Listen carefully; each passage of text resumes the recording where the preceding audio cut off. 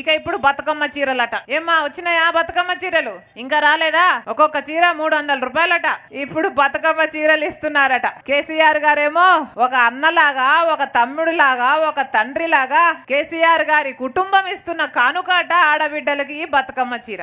ఎవరి డబ్బులను ఇస్తున్నారు? ఎవరి డబ్బులు ఇస్తున్నారు? ప్రభుత్వ డబ్బులు ఇవ్వకపోతే ఏ డబ్బులు ఇస్తున్నారు? కాళేశ్వరంలో దోచుకున్న డబ్బులు ఇస్తున్నారా? లేక చిన్నదొర కేటీఆర్ గారు ఫీనిక్స్ లాంటి బినామీ కంపెనీలో సంపాదించుకున్న డబ్బులు ఇస్తున్నారా లేకపోతే ఢిల్లీ లిక్కర్ స్కామ్ డబ్బులు ఇస్తున్నారా ఏ డబ్బులు ఇస్తున్నారు ఏదో పెద్ద మీ ఇంట్లోంచి డబ్బులు ఇస్తున్నట్టే మాట్లాడుతున్నారే. ప్రజల డబ్బు ప్రజలకి ఇవ్వడానికి మళ్ళా ఇంత బిల్డప్ ఏది మూడు వందల రూపాయలు చీరిస్తున్నారో లేదో? ఎంత పెద్ద బిల్డప్ దానికి? మూడు వందల రూపాయల చీరిచ్చి వాళ్ళ వాళ్ళ పాపాలన్నీ కప్పేయాలనుకుంటున్నారు కదా? మూడు వందల రూపాయల చీరలు ఇచ్చి మూడు తరాలకు చేసిన అన్యాయాన్ని కప్పేయాలనుకుంటున్నారు కదా? వీళ్ళక మహిళల మీద ప్రేమ ఉన్నది ఏమ్మా మూడు వందల రూపాయలు చీరిస్తే మీ మీద ప్రేమ ఉన్నట్టేనా నిజంగానే కేసీఆర్ గారికి మహిళల మీద ప్రేమ ఉంటే మహిళా సంఘాలకు అసలు సున్నా వడ్డీకే రుణాలు ఇస్తామన్నారు కదా? ఇచ్చిండమ్మా వడ్డీ మీరు కడుతున్నాడా? కేసీఆర్ గారు కడుతున్నారా? మరి ఏమైంది? మహిళల మీద ప్రేమ ఉంటే ఆ సున్నా వడ్డీ మాట ఏమైంది? ఆ హామీ ఏమైంది? అసలు మహిళలకు రక్షణ ఉందా తెలంగాణలో దక్షిణ తెలంగాణలోనే ఈ రోజు తెలంగాణ ఆడవాళ్ళను ఎత్తుకుపోవడంలో ఆడవాళ్ళను మానభంగం చేయడంలో ఆడవాళ్ళను చంపేయడంలో ఆడవాళ్ళ మీద అత్యాచారాలు చేయడంలో ఈ రోజు దక్షిణ తెలంగాణలోనే తెలంగాణ రాష్ట్రం నెంబర్ వన్ అట. సిగ్గుండాలి కదా? వీళ్ళకి ఆడవాళ్ళంటే విలువ ఉందా ఆడవాళ్ళంటే గౌరవం ఉందా? ఆడవాళ్ళకి రక్షణ కల్పించడం చేతనైందా? ఏం చేతనైంది వీళ్ళకు? మూడు వందల రూపాయలు చీర ఇవ్వడం చేతనైంది. అంతకంటే ఏమైనా చేతనైందా? అసలు కేసీఆర్ గారి కుటుంబంలో వాళ్ళకి అసలు ఆడవాళ్ళంటే గౌరవం ఉందా? తొలి కేబినెట్లో ఎంతమంది ఆడవాళ్ళు ఉన్నారు ఒక్క మహిళన్న కేబినెట్లో ఉండిందా? మొన్నటి వరకు అసలు మహిళా కమిషన్కు చైర్మన్ కూడా లేదు కదా. ఇప్పుడే కదా ఈ కేబినెట్లో అయినా ఎంతమందికి ఇచ్చాడు మహిళలకు అవకాశం కేసీఆర్ గారు? అసలు మహిళలంటే మనుషుల్లాగా చూస్తాడా కేసీఆర్ గారు? బానిసల్లాగా చూస్తాడు. ఎక్కడుంది రక్షణ? మహిళలకు విలువ ఉందా? మహిళలకు గౌరవం ఉందా? అసలు మహిళలకు చిన్న చిన్న పిల్లలకు ఆరు సంవత్సరాలు పది సంవత్సరాలు పద్నాలుగు సంవత్సరాలు బిడ్డలు కూడా రేపైపోతున్నారు మడ్డరైపోతున్నారు అంటే ఇక కేసీఆర్ గారు వాళ్ళకు కూడా రక్షణ కనిపించడం లేదు అంటే ఇక కేసీఆర్ గారి ప్రభుత్వం ఎందుకున్నట్టు? కేసీఆర్ గారు ఎందుకున్నట్టు? ఊరేసుకొని చచ్చిపోవాలి కదా?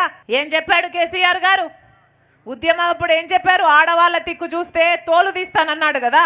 గుడ్లు బీకుతానన్నాడు కదా? మరి హైదరాబాద్ లాంటి నగరంలోనే ఒక చిన్న బిడ్డ రేపైపోతే అది కూడా ప్రభుత్వ వాహనంలో ఇన్నోవాలో రేపైపోతే ఏం చేశాడు? అది కూడా ఘోరం చేసిన వాళ్ళు ఎవరు మంత్రుల కొడుకులు మంత్రుల ఎమ్మెల్యేల కొడుకులు మంత్రుల మనవళ్ళు. ఏం చేశాడు కేసీఆర్ గారు? ఎవరు గుడ్లు పీకాడు ఎవరు ఉద్యోగాలు పీకాడు? అందరూ శుభ్రంగానే ఉన్నారు కదా? పాపం ఇప్పుడు ఆ ఆడబిడ్డ కేసులో సాక్ష్యం చెప్పాలంటే కూడా బిక్కు బిక్కుమంటూ భయపడుతున్నారే. ఎక్కడుంది రక్షణ ఆడవాళ్ళకి? మీరా రక్షణ ఇచ్చేది? ఏం చేతనైంది మీకు? ఆడవాళ్ళకు సున్నాకే సున్నా వడ్డీకే రుణాలు ఇస్తామన్నారే. చేతనైందా? ఆడవాళ్ళకు రక్షణ కల్పించడం చేతనైందా? ఆడవాళ్ళని గౌరవించడం చేతనైందా? ఏం చేతనైంది? మూడు వందల రూపాయలకు బతుకమ్మ చీరలు ఇవ్వడం చేతనైంది కేసీఆర్. అంతేనా? అసలు ఇంకా ఈ ఆడబిడ్డలు కన్న బిడ్డలు స్కూళ్ళకు పోయే బిడ్డలు ఇంకా వాళ్ళ పరిస్థితి ఎలా ఉంది తల్లి? ఎంతమంది ఎన్ని హాస్టళ్ళలో చూస్తున్నాం? ఏ ఫుడ్ పెడుతున్నారు? ఆ ఫుడ్లో ఏమైనా తినేటట్టుందా? ఆ అన్నం మనుషులు తినేటట్టుందా? ఎక్కడ చూసినా ఏ హాస్టల్లో చూసినా పురుగులు బొద్దెంకలు ఆఖరికి బల్లి కప్ప అన్నీ ఎట్లా పడితే అట్లా పెడుతున్నారే. ఎందుకని? అంటే బిడ్డలు మనుషులు కాదా? ఆ బిడ్డలు తినేటి ఎవరు చూసుకుంటున్నారు? అసలు ఎక్కడుంది? విలువ ఎక్కడుంది? బిడ్డలంటే ఎక్కడుంది? ఆడవాళ్ళంటే ఎక్కడుంది? విలువ కేసీఆర్ గారికి. వీళ్ళ మాట్లాడేది? ఆడవాళ్ళ మీద పెద్ద ప్రేమ ఉన్నట్టు. ఇక ధరణి ఇదే సంగారెడ్డిలో ఇదే సంగారెడ్డిలో శివమ్మ అనే మహిళ ఇరవై ఏడు ఎకరాలు. ఉంటే ఇప్పుడు ఇరవై ఏడు ఎకరాలు పోయిద్దట. ఏమంటే అసలు ఆమె చచ్చిపోయినట్టే చూపిస్తుందంట రికార్డు. బతికున్న మనిషిని చంపేశారు. కొండ నాలుకకు కొండ మందేయబోతే ఉన్న నాలుక ఊసిపోయిందట. ఏమైంది? ధరణితో ఏమైంది? నాలుగు ఎకరాలు ఉన్నోనికి రెండు ఎకరాలు చూపిస్తుంది రెండు ఎకరాలు ఉన్నోనికి ఒక ఎకరా చూపిస్తుంది ఒక ఎకరా ఉన్నోనికి అసలు భూమే లేదు పొమ్మంటుంది. అసలు భూములు కాజేయడానికి కాకపోతే కబ్జా చేసుకోవడానికి కాకపోతే ఎందుకు తీసుకొచ్చారు ధరని ఇదే సంగారెడ్డిలో ఇరవై ఏడు ఎకరాలు ఉంటే ఒక మహిళ పేరు మీద ఆ మహిళ సచ్చేపోయినట్టు రికార్డు చూపిస్తుందంట. ఆ పట్టాలు ఇంకో పేరు మీద ఉన్నాయట. ఇక ఏం చెప్పాలి? పోసమ్మ పోగు చేస్తే మైసమ్మ మాయం చేసిందట.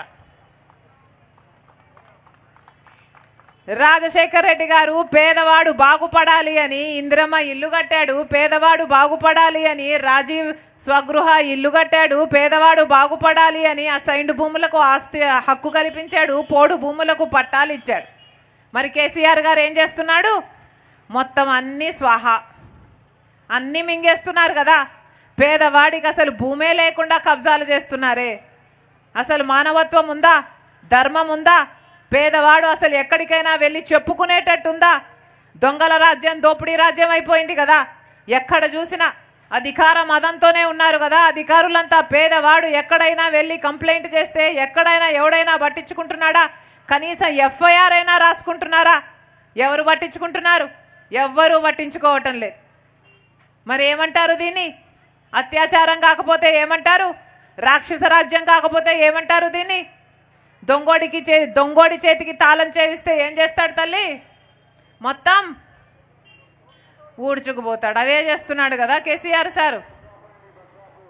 బంగారం లాంటి రాష్ట్రాన్ని మిగులు బడ్జెట్లో ఉన్న రాష్ట్రాన్ని కేసీఆర్ గారి చేతుల్లో పెడితే ఏం చేశాడు?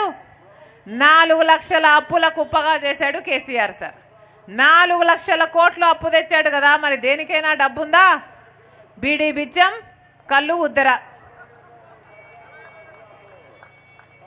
దేనికైనా డబ్బుందా? ఫీజు రీంబర్స్మెంట్కి డబ్బు లేదు. ఆరోగ్యశ్రీకి డబ్బు లేదు. ఇల్లు కట్టడానికి డబ్బు లేదు. డబుల్ బెడ్రూమ్ ఇల్లు కట్టడానికి డబ్బు లేదు. పెన్షన్ ఇవ్వడానికి డబ్బు లేదు. దేనికి డబ్బు లేదు? మరి ఏమైనట్టు డబ్బంతా? ఏమైనట్టు డబ్బంతా? ఫామ్ హౌస్కు పోయినట్టు. అంతే కదా? పెద్ద పెద్ద ప్రాజెక్టుల పేర్లు చెప్తున్నారు. కాళేశ్వరం అంటున్నారు. మిషన్ భగీరథ అంటున్నారు. Palamuru Rangareddy lift irrigation project అంటున్నారు. అన్నీ కలిపి ఒకే మనిషికి ఇస్తున్నారు అన్ని ప్రాజెక్టులు కాంట్రాక్టర్లు. ఆ మనిషి దగ్గర వీళ్ళు కుమ్మక్కయి కమిషన్లు తీసుకుంటున్నారు. అంతే కదా? పేదవాడికి ఇస్తున్నారా డబ్బులు? మంచోడు మంచోడు అంటే మంచం కోళ్ళు ఎత్తుకుపోయిందంట అప్పుడు. బంగారు తెలంగాణ అన్నారు. ఎవరికైంది బంగారు తెలంగాణ? మీకైందా బంగారు తెలంగాణ? బంగారు తెలంగాణ అనే అసలు పేదవాడికి బతుకే లేకుండా చేశాడు కేసీఆర్ సార్. బంగారు తెలంగాణ అని చెప్పి అప్పుల తెలంగాణగా ఆత్మహత్యల తెలంగాణగా అత్యాచారాల తెలంగాణగా చేశాడు కేసీఆర్ గారు. బంగారు తెలంగాణ అని చెప్పి బీర్ల తెలంగాణగా బార్ల తెలంగాణగా చేశాడు కేసీఆర్ సార్. ఈరోజు గుడులు బడులు ఎన్నున్నాయో అంతకంటే ఎక్కువ బీర్ షాపులు బెల్ట్ షాపులే ఉన్నాయి. మగబిడ్డలను కన్న తల్లిదండ్రులేమో అమ్మ మా బిడ్డలు చెడిపోతున్నారు అని వాళ్ళంటే ఆడబిడ్డలు కన్నా వాళ్ళేమో అమ్మ బిడ్డను బయటికి పంపించాలంటే బిక్కు బిక్కుమంటూ భయం వేస్తుంది తల్లి అని వాళ్ళు అంటున్నారు డిగ్రీలు పీజీలు చదివారు బిడ్డరు. ఏమైంది? ఉద్యోగాలు ఉన్నాయా ఉద్యోగాలు ఉన్నాయా అసలు వందల మంది ఆత్మహత్యలు చేసుకుంటుంటే దున్నపోత మీద వానబడినట్టే కదా. కేసీఆర్ గారిలో ఏమైనా చలనం ఉందా? కళ్ళ ముందరే రెండు లక్షల ఉద్యోగాలు ఉన్నాయే భర్తీ చేస్తున్నాడా కేసీఆర్ సారు? లేదు. మరి ఎక్కడుంది న్యాయం? ఎక్కడుంది బంగారు తెలంగాణ? ఎవరికైంది బంగారు తెలంగాణ? అందుకే చెప్తున్నాం. ఎనిమిది సంవత్సరాలుగా కేసీఆర్ గారు ఆడిందే ఆటగా పాడిందే పాటగా సాగింది. ప్రశ్నించాల్సిన ప్రతిపక్షాలు ఏ రోజైనా ప్రశ్నించినాయా? కాంగ్రెస్ బీజేపీ పార్టీలు అయ్యా కేసీఆర్ను ఒక్క మాట కూడా ఎందుకు నిలబెట్టుకోవడం లేదు అని ప్రశ్నించినాయా? అయ్యా కేసీఆర్ జాబ్ నోటిఫికేషన్ లేకపోతే మా బిడ్డలు ఎలా బతకాలి ప్రజలు ఎలా బతకాలి అని ప్రశ్నించినాయా? అయ్యా కేసీఆర్ ఎనిమిది సంవత్సరాలుగా అన్ని కాంట్రాక్టులు అన్ని ప్రాజెక్టులు ఒకే మెగా కృష్ణారెడ్డికే ఎందుకు ఇస్తున్నావని ప్రశ్నించినాయా ఎవ్వరూ ప్రశ్నించలేదు కదా అందరూ డబ్బులు తీసుకున్నారు. అంతా వాళ్ళ రాజకీయాలే చేసుకున్నారు అంతా వాళ్ళ స్వార్థం కోసమే పనిచేశారు మరి అందరూ ఒకే తాను ముక్కలే కదా. ప్రజల కోసం ఎవరైనా నిలబడ్డారా? ప్రజల కోసం ఎవరైనా కొట్లాడారా? ఈరోజు రాజశేఖర రెడ్డి బిడ్డ వైఎస్ఆర్ తెలంగాణ పార్టీ పెట్టింది అంటే ఎందుకు పెట్టింది? ఎందుకంటే ఈరోజు రాజశేఖర్ రెడ్డి గారి సంక్షేమ పాలన అసలు ఎక్కడా కనిపించకుండా పోయింది కాబట్టి. ఎందుకంటే ఈరోజు ప్రజల పక్షాన నిలబడి పోరాటం చేసే పార్టీయే లేకుండా పోయింది కాబట్టి. ఎందుకంటే మాట మీద నిలబడే నాయకత్వమే లేకుండా పోయింది కాబట్టి. ఈరోజు రాజశేఖర్ రెడ్డి బిడ్డ ఎండనక వాననక పాదయాత్ర చేస్తుంది అంటే ఎందుకు చేస్తుంది? నా ఇంటిని నా కుటుంబాన్ని పక్కన పెట్టి రోడ్ల మీదనే బతుకుతున్నామే. ఎందుకు బతుకుతున్నాం? ఎందుకంటే ప్రజలకు సమస్యలు ఉన్నాయని ఆ సమస్యలు ఎత్తి చూపడానికే ఈరోజు పాదయాత్ర చేస్తున్నాం.